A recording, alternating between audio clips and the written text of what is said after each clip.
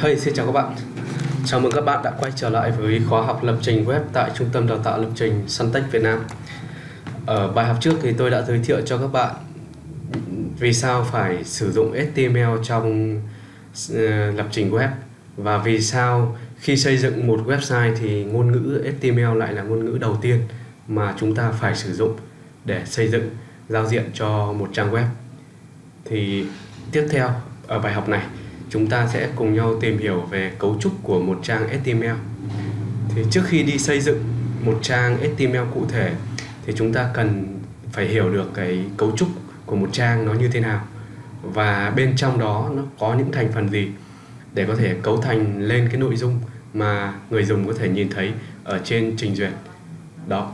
Thì đầu tiên, tôi sẽ cùng các bạn tạo một trang HTML thì để tạo một trang HTML thì chúng ta sẽ tạo một file có đuôi là .html ví dụ ở đây tôi đặt tên file là homepage .html html thì một trang HTML luôn luôn có định dạng là .html các bạn nhé, các bạn nên nhớ như vậy. Luôn luôn có định dạng là .html hoặc là .htm tuy nhiên, cái đuôi .html là cái đuôi chính thống và các bạn chỉ cần nhớ cho mình là cái đuôi .html là đủ rồi. Đó. Thì lúc này, tôi sẽ tạo ra một trang HTML cơ bản với các thành phần như sau. Đầu tiên, đối với một trang HTML thì luôn luôn có phần mở trang. Nó luôn luôn mở trang bằng thẻ HTML chúng ta sẽ gọi là thẻ, các bạn nhé. Các thẻ. Và sau thẻ mở trang sẽ là thẻ đầu trang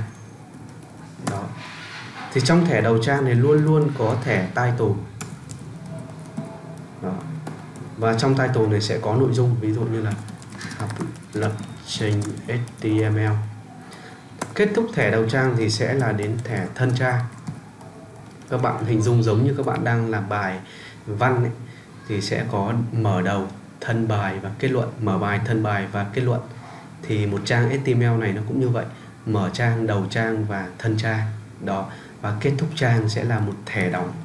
Thì các bạn nhìn thấy ở đây, chúng ta sẽ có ba thẻ để tạo nên cấu trúc của một trang. Đó là thẻ mở trang, thẻ đầu trang và thẻ thân trang.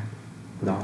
Và trong thẻ thân trang này thì sẽ chứa rất nhiều các thẻ HTML khác để có thể cấu thành lên cái nội dung mà chúng ta nhìn thấy ở trên trang web.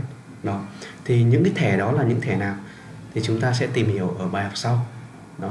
Còn đối với thẻ đầu trang thì chúng ta luôn luôn có thẻ tiêu đề tiêu đề của trang. Đó. Và cái thẻ tiêu đề này nó sẽ được hiển thị ở đâu và hiển thị như thế nào thì chúng ta sẽ cùng chạy cái trang này lên. Đó.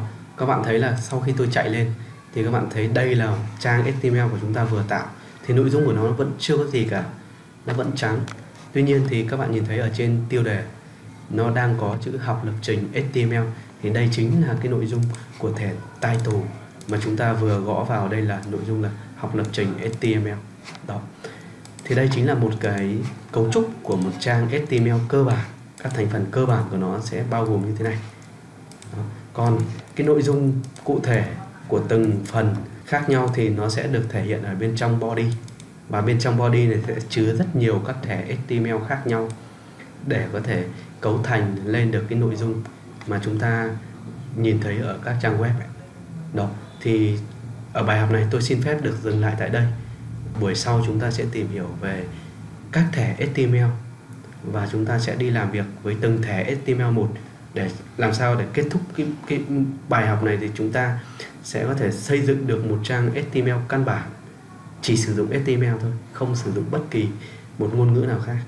Đó thì ở bài học này tôi xin phép được dừng lại tại đây xin chào và hẹn gặp lại.